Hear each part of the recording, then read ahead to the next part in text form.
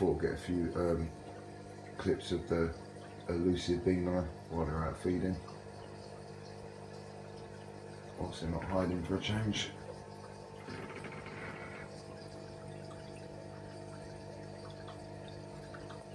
I can't lie, they really are um, nice uh, specimens of um, Rio Blancos or San Pedro's. They're the same source as the same ones I got before, which I'm guessing the ones I got before were F1s. So I'm guessing these come from the same parents, which will be F1s of these. These, will be F1s as well. To my knowledge, there's only one breeder of these in the UK. Well, it breeds about six different types, but yeah. I think it come from the Beamer man.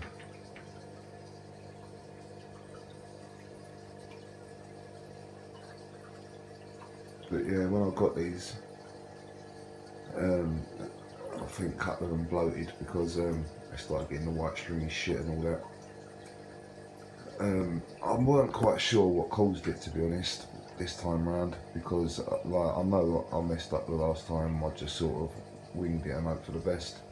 Kept them on like 50% water changes all the time and all the rest. This time um, I put a UV sterilizer on there um, over 36 watts because anything under 36 watts it doesn't actually kill parasites. It just really does more algae than anything but it doesn't uh, stop the, the parasite cycle.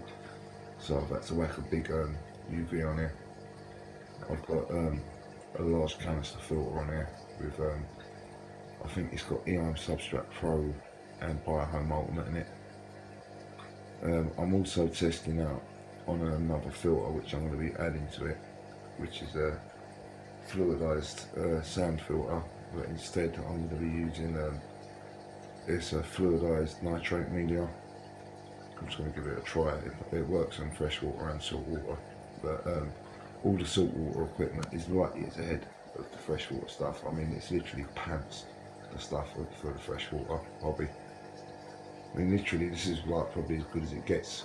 Is um, like the Fluval LED um, app controlled lights, unless you want to start buying Kessils and that but I don't really see the point. You don't really see, you ain't going to see much more. You get the shimmering and that off of the Kessils, but from actually seeing the light of the fish, I don't really think it's going to make much difference. I mean, I've got this on the lowest setting. I'll turn it up, they'll probably hide now, but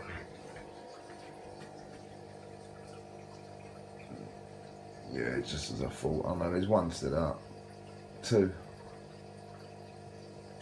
Oh, they'll be back out.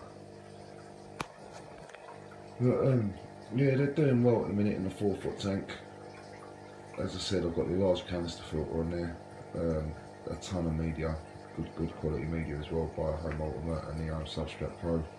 I've got two um, really cycled um, sponge filters in there, just going until um, the tank nicely going. Got sand and substrate on this one and um, I've kept the water on this 50% RO, 50% tap water, obviously with the minerals added to it and that. And um, basically it's the same water that the fish come out of. So when I went to collect them, and um, obviously they've been kept in RO, I obviously had to do the same thing. Because the fella kept discus as well, and he literally just said he'd done the exact same thing with the parameters. Because he had uh, eight of these, and um, he ended up with a pair out of them and uh, he's got the pair spawning now and he's kept a spare female. So I bought the other five. But as I said he's the only other person I've seen that's, that's ever spawned them.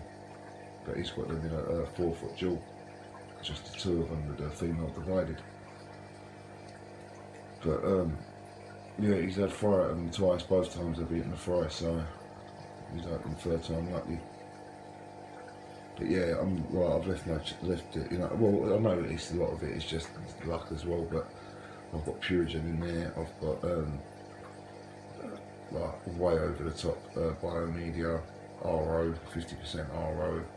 Um, I've got the oxygenating plants in there. Like if something goes, and I'm literally feeding by the book, right? Like a minimal amount. I'm not bloating them or anything like that. I haven't got the water on those silly 68 degrees or nothing. I've just got heater's in there, but it's not turned on. The tank's sitting there probably at the minute about 78. But anything from 77 up to about 82, I've been fine with them. But yeah, I had some bad news yesterday.